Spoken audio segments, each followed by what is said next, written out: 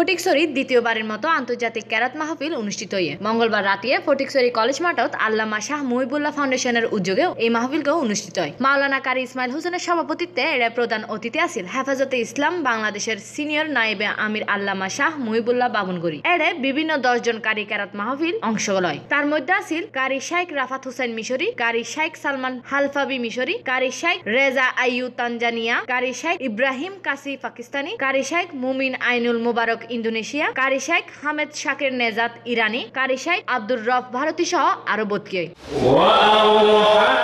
ডেক্স news C plus TV Chattogram. এই যে দেখো কেওয়াই এর মুরগি মার্কা ঢেউটিন দিয়া বানানো আমার ঘর। কেওয়াইয়ের মুরগি মার্কা ঢেউটি লাগাইলেই হিট।